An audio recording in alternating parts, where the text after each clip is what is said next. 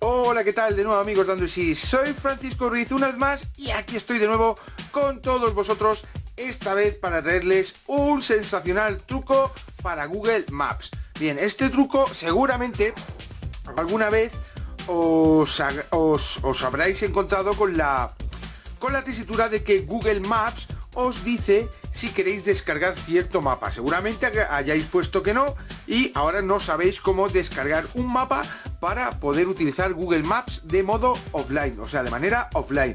La cuestión es muy fácil. Por ejemplo, yo tengo eh, esta zona de alcance, ya me he centrado en este mapa y simplemente con que ponga aquí OK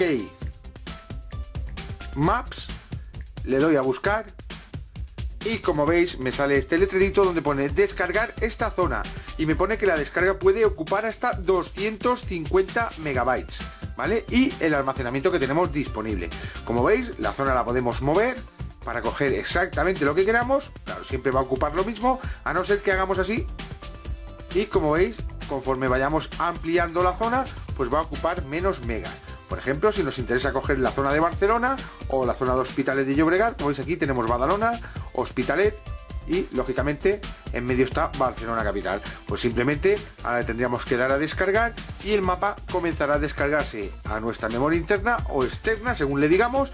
En este caso solo tiene interna Samsung Galaxy S6 Plus y simplemente pues descargar los 225 megas y desconectando la conexión de datos vamos a ser capaces de navegar incluso puerta a puerta, o sea, por voz, a cualquier zona que salga en este mapa sin necesidad tener conexión a internet. Podemos desconectar wifi y datos y va a funcionar Google Maps. Y como os digo, podemos buscar cualquier zona que nos interese. Por ejemplo, me meto aquí en la zona de Andorra y, por ejemplo, veis que amplío el mapa y simplemente quiero descargar este mapa, pues lo mismo, pongo OK, Maps, bien puesto, he puesto OK, OK, Maps, le damos a buscar y automáticamente vemos que toda esta zona nos va a ocupar 225 megas. Conforme mayor vayamos ampliando por ejemplo si queremos imaginaos que queréis tener toda la zona de Cataluña vale os vais ampliando así os vais haciendo zoom y toda esta zona de aquí que sería Cataluña y parte de, de, de Zaragoza vale pues como veis va a ocupar 1550 megas.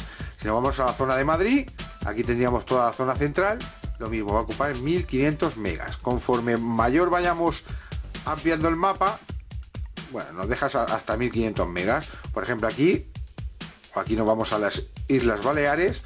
Si queremos coger todas las islas, hacemos mayor zoom, un poco más, y ahora cogeríamos prácticamente, aquí la vamos a meter, Aquí cogeríamos prácticamente todas las islas y se nos costaría 1550 megas. Como veis lo podemos hacer de cualquier zona.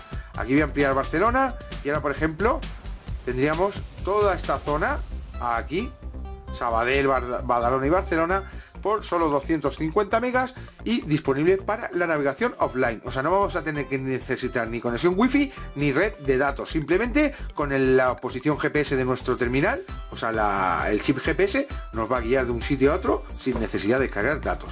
Ya lo sabéis, es muy fácil. Simplemente seleccionar el mapa y aquí arriba poner OK. Otra vez con el OJ. OK. Maps. Damos a la lupa más para atrás, o sea, en vez de mapa, maps, tengo unos dedos que parecen chorizos, ok, maps, damos a la lupa y como veis, ya lo podemos descargar de manera directa a nuestro Android.